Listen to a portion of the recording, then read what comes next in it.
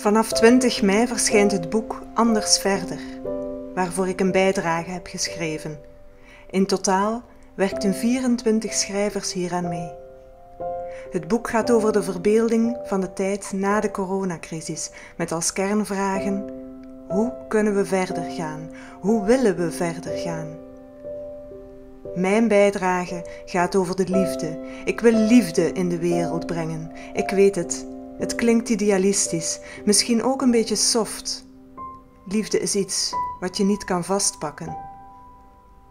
Als we denken aan de liefde, denken we aan allemaal hartjes.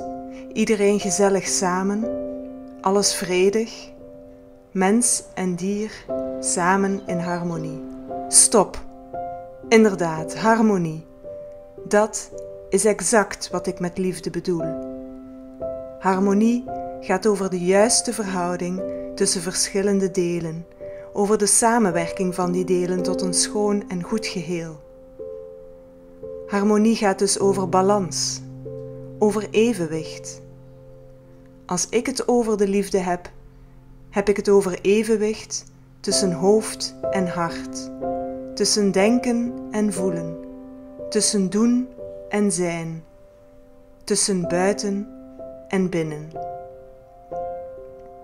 Als ik naar de wereld kijk, zie ik op dit moment weinig harmonie, weinig evenwicht. Ik zie meer CO2 dan zuurstof, meer controle dan vertrouwen, meer kwantiteit dan kwaliteit, meer moeten dan willen, meer grijs dan kleur, meer ernst dan plezier. Ik zie dat we vooral in ons hoofd leven, bezig zijn met dingen die buiten ons liggen. We werken aan de technologie we komen op straat om te ijveren voor betere levensomstandigheden, een beter klimaat. We kijken naar anderen om te zien of we mooi zijn, hoe hard we moeten werken om goed genoeg te zijn. Nu staan we elke avond om acht uur aan de voordeur te klappen voor de helden in deze coronacrisis. Het is tijd om het anders te doen. Anders verder. Het is tijd om naar binnen te gaan, naar onszelf te kijken Zoals Phil Bosmans het kort en krachtig zei: verbeter de wereld, begin met jezelf. Het is echt zo. Willen we een betere wereld, dan is het belangrijk naar binnen te kijken, naar wie we zelf zijn, naar wat we echt belangrijk vinden. Liefdevol en oordeelloos. De coronacrisis helpt ons hierbij. Door de lockdown waren we verplicht binnen te blijven. Doordat we minder konden doen, werden we gedwongen te vertragen. En dat is wat we moeten blijven doen, ook als geleidelijk aan de winkels weer opengaan, het werk, de school en de nevenactiviteiten weer opstarten.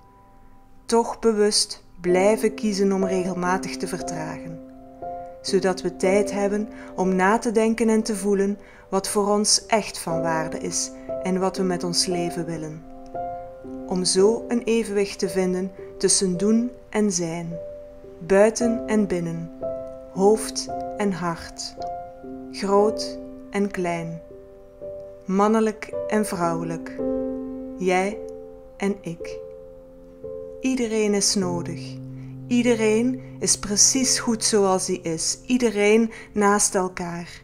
Ik ben ik en jij bent jij en dat is oké. Ik ben afhankelijk van jou en jij van mij. We hebben elkaar nodig. En daarom wil ik liefde in de wereld brengen. Liefde voor onszelf, liefde voor elkaar en liefde voor al wat leeft. Het klinkt idealistisch en misschien te groot om te realiseren, maar eigenlijk, eigenlijk is het heel klein. Net als corona is liefde een virus, immens klein. Alleen als het je raakt, verspreidt het zich als een lopend vuurtje en wordt het iets heel groot.